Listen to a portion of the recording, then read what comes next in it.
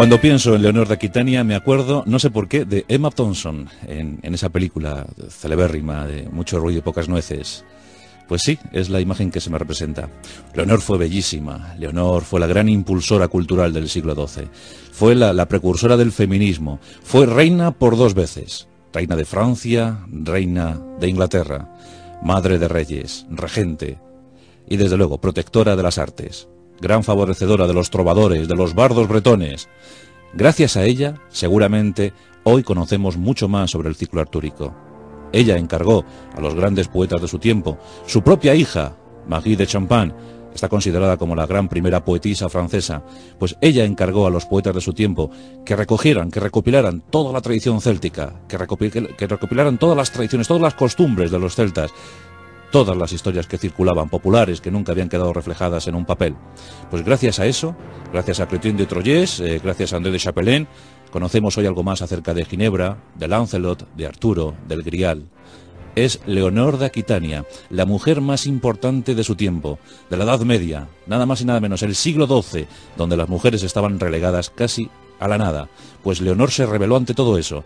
Leonor era una mujer fuerte, Leonor era una mujer hermosa, Leonor tenía carisma, tenía personalidad y supo estar a la altura de las circunstancias. Hoy en día las mujeres le deben mucho, porque en su tiempo fue la única que enarboló la bandera del feminismo, la bandera de la igualdad. Esta noche, en nuestros pasajes de la historia, Leonor de Aquitania, la mujer más importante de su tiempo.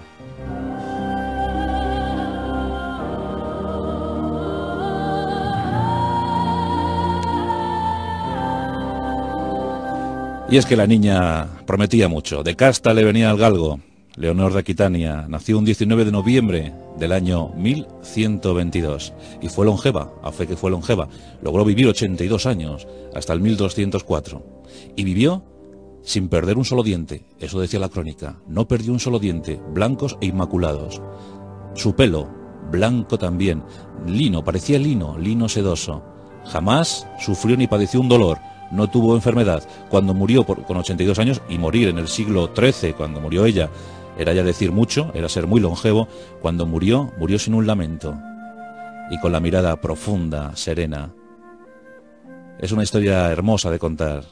Es una de esas personalidades tremendas, plenas, pletóricas, que enardecen y congratulan al ser humano. Leonor de Aquitania.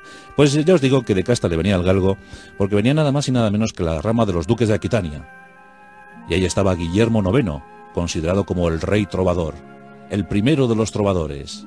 Ahí estaba ese duque, el noveno de Aquitania, y su padre, Guillermo X, fruto de una unión extraña. Sí, porque eh, Guillermo IX era un, muchacho que también tiene su historia, también tiene su pasaje. Guillermo, eh, desde pequeñito, gustaba de rodearse pues, de artistas, creadores, animales de compañía, Tenía en su casa siempre pues gallinas, zorros, perros, gatos. Era orondo, pero era de una profunda mirada verde. Tenía los ojos verdes. Era rubio y muy agraciado. Vamos, que, era un, chico muy querido en la época. Todas las jovencitas se lo rifaban y además tenía una fortuna increíble. Bueno, pues él tuvo una amante. Y esa amante era Dangerés. Dangerés eh, viene a significar más o menos peligrosa. Fijaos cómo se llamaba la chica. Pues se llamaba peligrosa. Se fijó en ella en un torneo medieval. Eso era tremendo en aquella época. Se fijó en ella y con el tiempo procuró que una hija de Don se casara con su hijo Guillermo, y de esa unión nació Leonor. Por tanto, Leonor ya nació fuerte, ya nació con sangre recia, con la sangre del amor, y eso es lo que estuvo favoreciendo durante toda su vida, el amor, porque eh, Leonor Aquitania heredó el gusto por el arte de su abuelo y durante mucho tiempo en esa corte de Aquitania se dieron cita a los trovadores, se dieron cita a los artistas, los pintores, los escritores, los filósofos. Todos estaban en esa corte amparados bajo el manto de los Aquitania. Y eso es lo que aprendió Leonor, una chica culta e instruida, inusual para su época que supiera leer, escribir, que hablara latín, que dominara su lengua vernácula, el occitano, y además nociones de inglés, de castellano, en fin, que Leonor era una chica muy refinada. Y para colmo, encima, era increíblemente hermosa, era bella, muy bella, una piel tersa, suave, cuerpo turgente, bien, bien modelada. Leonor de Aquitania pronto recibió innumerables peticiones. Todos querían casarse con esa jovencita. se las prometían muy felices. Lo que no sabían es que Leonor también estaba generando un carácter propio, una personalidad propia. Daría mucho que hablar. Así fue creciendo y en el año 1137 llegó el momento para el amor, para su primer amor, para su primer y desgraciado amor. Y este no era otro, sino Luis, Luis VII de Francia. No le correspondía ser rey, a él le habían educado para otra cosa. La iglesia era su destino, la iglesia era su afán, era su querer. Pero la muerte de su hermano favoreció su llegada al trono. Luis era muy piadoso, Luis rezaba constantemente, y Luis eh, no, no, sentía apetencia por, por los asuntos de la cama. Leonor, en cambio, era fogosa, Leonor era ardiente, a Leonor le gustaba amar y ser amada, y por eso no encontró correspondencia en Luis ese matrimonio no, no fue muy agraciado. Y la verdad es que, aunque consumaron, claro, pero durante años empezó a circular una leyenda, y es que Leonor no conseguía darle un varón, un heredero a Luis. Todos empezaron a decir, fue rumbo a la segunda cruzada, y muy animado por Leonor. Leonor le animó a ir a esa cruzada, pero es que ella se fue con él. También, inusual para la época, Leonor rumbo a las cruzadas. Año 1147. Nos encontramos en Antioquía. Allí en los reinos latinos de Oriente se encuentra Raimundo de Tolosa, tío carnal de Leonor, de Leonor de Aquitania. Nos encontramos en plena Segunda Cruzada. Los intereses de la cristiandad se ven muy cuestionados. Se duda sobre si tomar Jerusalén, sobre si avanzar sobre Jerusalén, la ciudad santa o no. Leonor no quiere. Piensa que los turcos se deben replegar antes. Pero Luis VII está deseando tomar Jerusalén. Y entonces increpa a su mujer. La anima, le dice que salga de Antioquía, que abandone a su tío, porque también hay rumores. Se supone que, que Leonor, sí, Leonor, ha yacido con su tío, que se está acostando con su tío. Nada más lejos de la realidad, aunque nunca se podrá, se podrá corroborar esa historia. Y aquí llega el primer episodio tremendo y cruel entre Luis VII y Leonor de Aquitania. Luis entra en las estancias de palacio y allí encuentra a su mujer y empieza a maltratarla, empieza a pegarla, la coge por los pelos, la saca de las estancias, quiere obligarla a que la acompañe, pero ella no quiere. De todo esto sale una disputa. Ellos ya tenían una hija, Marie de Champagne, había nacido unos años antes, en el año 1145. Y con su pequeña, llorando, sale de Antioquía pero lo primero que hace, y esto es lo que revuelve a la sociedad, esto es lo que provoca muchísimos murmuros, muchísimos eh, comentarios, lo que quiere Leonor es repudiar a su marido.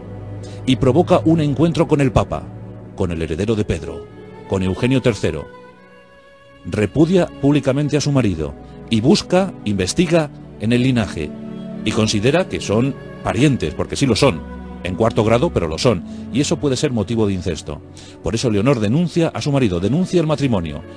Eugenio III, muy conciliador, les anima a que lo vuelvan a intentar, que no está bien que el rey de Francia sea desposeído del matrimonio, que no está bien que se divorcien, que no está bien que se separen, y ellos lo vuelven a intentar. Y a fe que lo, lo consiguen, porque en 1150 nace una segunda niña, pero no llegaba el heredero, no llegaba el varón. ¿Qué podrá pasar? ¿Qué ocurrirá? Pues simplemente que Leonor ya no aguanta más. Leonor empieza a cometer infidelidades como las cometía Luis. Se habla incluso de un hermoso criado negro, negro sarraceno, un impresionante negro de dos metros, que hace las delicias de Leonor de Aquitania. En fin, que no se cortaba en aquellos momentos. Seguía manteniendo un cuerpo escultural, una belleza a prueba de bomba, a prueba de Luises. Y Luis no lo soporta, y en ese caso es él el que repudia a su mujer. Así que en 1152 la pareja se separa. Leonor tiene 29 años, tiene dos hijas y un futuro incierto, pero eso sí, un inmenso patrimonio, su heredad. En esos tiempos, en el siglo XII, la herencia era algo ya más que consolidado. Los territorios europeos se heredaban. Los enlaces matrimoniales eran los más oportunos, porque eh, conseguían y facilitaban que la tierra pasara eh, de mano en mano, siempre bajo la misma familia. Así que tenemos a Leonor de Aquitania controlando un tercio del territorio francés. Y eso es decir mucho, eso es decir casi 200.000 kilómetros cuadrados. Esa era su herencia, ese era su patrimonio. Así que Leonor muy avispada y sabiendo que una mujer sola en ese tiempo poco podía decir, poco podía hacer y que seguramente tarde o temprano la importunarían, buscó una alianza, empezó a buscar un nuevo marido. Y en eso, que se entera que hay un jovencito, heredero al trono inglés, que se llama Enrique Henry, Enrique II de Plantagenet. Los Plantagenet era la familia dominante, pero había un pequeño problema. Enrique tenía tan solo 18 años. 18 hermosos años. Leonor tenía 29, pero a fe que parecía más joven. Los dos eran hermosos. Los dos eran amantes del arte, amantes de las letras, amantes de la cultura. El siglo XII estaba en todo su esplendor. Y Leonor envía una carta, una carta de amor a Enrique, y éste queda asombrado y fascinado por la personalidad de la mujer que le ha enviado esa carta. Enrique se presenta ante ella, y los dos se enamoran. El flechazo es mutuo y lo pasan bien, realmente bien, porque disfrutan de la corte, porque disfrutan escuchando las loas, las canciones de los trovadores, los versos de los bardos. Es el momento de rememorar viejas y épicas historias. Hablan del ciclo artúrico, hablan del grial, hablan de ideales, hablan de anhelos. Los dos jóvenes se sienten identificados, se ven el uno reflejado en la otra y al revés. Es una historia de amor preciosa. Y esto en 1100 52, recién divorciada del infame Luis VII. Enrique II parece cubrir todas las expectativas de la hermosa Leonor de Aquitania. Algo se estaba gestando, algo fundamental para el devenir de la historia europea. Se casan en mayo de ese mismo año. No pudieron esperar más. En pocos meses la unión se había realizado. Y aquí tenemos a la infértil, a la supuestamente infértil Leonor de Aquitania. Fijaos el dato, es espectacular en esta unión, en este matrimonio feliz, por lo menos en los primeros años, entre ese matrimonio de 1152 y 1166, nacieron ocho hijos, cinco de ellos varones, tremendos. Ahí estaba William, que murió, lamentablemente, pero ahí estaba Enrique, Enrique llamado el joven, el preferido de Enrique II. Ahí estaba Ricardo, el que posteriormente sería Ricardo I, corazón de león, el favorito, el mimado, el tutelado por Leonor, en el que vio todo el linaje de los Aquitania. También nació Joffrey. Dicen que le puso Joffrey en homenaje a un antiguo amante suyo, Joffrey d'Anjou. Bien. Y tenemos a John, más conocido por todos como Juan Sin Tierra, el más pequeño, el más joven, el más delicado, nacido en 1166. También nació su hija Leonor, le puso su nombre porque también la, la, vio fuerte como ella. Leonor, Leonor de Inglaterra, aquella que se desposó con Alfonso VIII, considerado como el rey niño y de la que nacerían hijos como Blanca, a la que posteriormente ya muy longeva, la propia Leonor de Aquitania asistiría a su boda en Castilla, el viaje a España, el famoso viaje a España. En fin, fijaos, fijaos cómo va creciendo la prole. Leonor de Aquitania ya tiene 10 hijos. Y en ese tiempo, Enrique II empieza a hartarse un poquito. Leonor es dominante, es de perfil dominante. Quiere estar eh, metida en todos los asuntos de su marido, en todos los asuntos del reino. Y es que, claro, se estaba creando una entidad sumamente poderosa. Terrenos en Francia, terrenos en Inglaterra. Había que, ser muy fuertes, tenían que ser muy fuertes. Y eso lo tenía muy claro Leonor. Enrique no tanto. Enrique estaba un poco molesto, porque, eh, claro, él iba teniendo hijos, pero también es cierto que iba madurando. Iba madurando como persona. Y veía su poder muy comprometido por la actuación de Leonor. Por tanto, empezó a separarla un poquito entre embarazo y embarazo eh, comenzaba a separarla un poquito. Pero Leonor se resistía, se resistía fuertemente, muy fuerte. Por fin llegamos al año 1170. Las presiones obligan a Enrique II a realizar testamento. Y comienza a repartir sus territorios. Guillermo había fallecido, pero Enrique el joven va a heredar buena parte de, los territorios. También a Joffrey le van a dar su Bretaña. A Ricardo le van a ceder los territorios patrimoniales de la madre. Y a Juan, a John, pues lo cierto es que le dieron una cosa tan insignificante, un, condado, el condado de Montrés, que desde entonces le llamaron todos Juan sin tierra. Ese es el verdadero motivo por el que le llamaron Juan sin tierra, porque fue tan exigua la herencia que recibió de su padre que todos consideraron que no había recibido nada, que no tenía tierra que asumir. Por tanto, ya desde entonces Juan sin tierra, una historia triste la de Juan sin tierra. Además, un personaje injustamente tratado por la historia, injustamente tratado. Leonor empieza ya mm, a enfadarse con, con Enrique, pero a enfadarse seriamente. Tanto que reúne a sus hijos y, y provoca una confabulación. Inculca a sus hijos que deben destronar a su propio padre. Aquí la gente puede pensar, qué perversa, qué mala era Leonor de Aquitania. Pues no tanto, no tanto. Ella veía a Enrique muy débil, demasiado rodeado por afines, por asesores que le aconsejaban que le asesoraban muy mal. Y Leonor, que era más fuerte que Enrique, quiere ante todo que prevalezca su linaje, que su reino siga siendo fuerte, el más fuerte de Europa. Y lo quiere conseguir con sus hijos, y empieza a inculcarles el deseo de destronar al padre. Es mejor destronar a tu padre antes que perder nuestro reino. Y los, hijos actúan contra el padre. En 1172 actúan en guerra contra el padre. Enrique II, que era más fuerte de lo que se pensaba a Leonor, consigue ganar y en un esfuerzo tremendo de piedad, perdona a todos sus hijos, como si no hubiese pasado nada. A la que no perdona es a Leonor. Sabe que está detrás del complot y por tanto la destierra al castillo de Chinon y allí va a estar un tiempo. Pero un tiempo en el que Leonor de Aquitania no iba, no iba a quedarse quieta, no iba a quedarse tranquila, porque dice que es el momento para que todo vuelva a renacer, y convoca a sus trovadores, convoca a sus pintores, convoca a la gente de la cultura. Ya os digo, lo inapropiado, lo inusual, pues eso, eso era lo que asumía Leonor. Y consigue que los músicos vuelvan a tocar.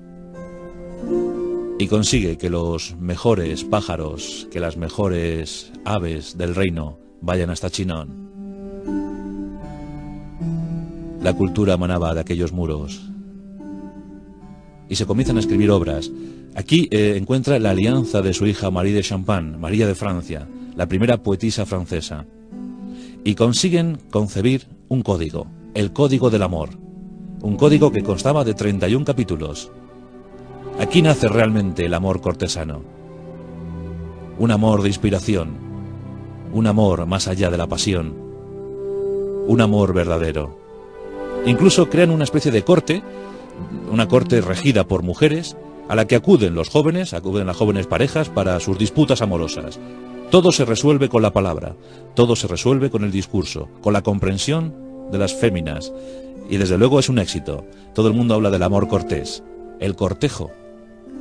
Ahí nace el cortejo, cortejar a la dama. Era la máxima aspiración de cualquier noble caballero. Leonor de Aquitania consigue imponer la educación. Antes era pues amor físico, amor violento, amor porque sí, amor porque aquí te cojo, aquí te pillo y aquí te mato. Pero desde Leonor de Aquitania cambian los conceptos. Ya os digo que es la verdadera impulsora de la revolución cultural del 12. Esa es Leonor de Aquitania. Y ese código del amor, inmortal, y esos ciclos artúricos que por fin quedan plasmados en un papel, la recopilación de leyendas, de tradiciones, esa es, una, es un mérito, esa es una tarea que emprendió Leonor de Aquitania. Cristian de Troyes, eh, André de Chapelain, la verdad es que fueron estupendos escuderos de Leonor de Aquitania. En ese tiempo, en ese periplo, lo consiguieron. En 1183, eh, la verdad es que tiene problemas serios porque eh, fallecen, fallecen algunos de sus familiares. Ella siempre había vivido, había vivido con la desgracia de haberse quedado huérfana muy pronto, de haber perdido a su madre, haber perdido hermanos, también ve morir a, a sus hijos. Es tremendo. Finalmente, cuando fallece el propio Enrique II, consigue que Ricardo, su querido Ricardo, llegue al trono. Año 1189. Un momento impresionante para la historia de Inglaterra. Es la primera coronación que queda perfectamente reflejada en una crónica. Todos los detalles se describen. Los escribanos se emplean a fondo. La coronación de Ricardo debe ser la más esplendorosa de la historia. Leonor de Aquitania, con 67 años, está exultante. Su hijo querido, su hijo mimado, su hijo homosexual, rey de Inglaterra. Toda la confianza Leonor la había depositado en Ricardo, Ricardo Corazón de León. Reinaría diez años, aunque de esos diez años tan solo pisó suelo inglés seis meses. Pronto, las aventuras le llamaron, y esas aventuras estaban en el. La tercera cruzada se había iniciado. La cruzada más importante, la más heroica, en la que se midieron dos potencias, la cristiandad contra la media luna. Aquí cuenta la crónica que Ricardo I, corazón de león, se enamoró profundamente de su oponente Saladino. Nunca se sabrá si ese amor llegó a consumarse, pero sí que es cierto que marchó a esa cruzada con un antiguo amante suyo, Felipe II de Francia. Leonor, regente entonces, estaba preocupada porque, claro, su niño mimado, su niño querido, no iba a conseguir darle un heredero. Buscó a Berenguela de Navarra, una joven hermosísima, guapa, bellísima, una Navarra estupenda, y bueno, con ella viajó a Limasol, a Chipre, y allí los casó.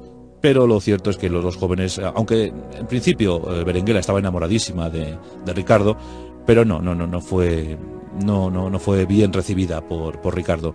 Ricardo estaba en otras cosas. Lo de Ricardo era la guerra y el amor, pero de otro tipo. En fin, que no, no, no hubo herederos. Ricardo, durante un tiempo, estuvo luchando en esa tercera cruzada. Luego regresó, como bien es sabido, en 1192, fue capturado por los alemanes. En ese momento Leonor está triste, está buscando el rescate a toda costa, quiere conseguir la enorme cantidad que le piden para rescatar a su hijo, a Ricardo Corazón de León, el ansiado, el añorado, el querido por los ingleses. Por fin en 1194 es liberado. Pero no consigue, no consigue gestar varón que le suceda. Leonor está seriamente preocupada y muy cansada se retira. Se retira a una abadía y allí, orando, rezando y con el mercenazgo propio de, toda su vida, sigue favoreciendo las bellas artes, sigue favoreciendo la literatura, la música.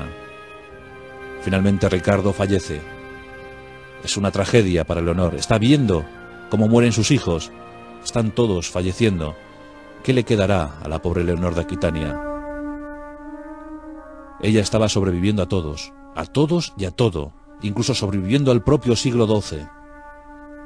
En 1199 consigue, consigue porque había un, nieto, hijo de, de Geoffrey, Geoffrey de, Bretaña, eh, que bueno, que se sentía con suficientes estímulos y suficientes argumentos como para aspirar al trono inglés.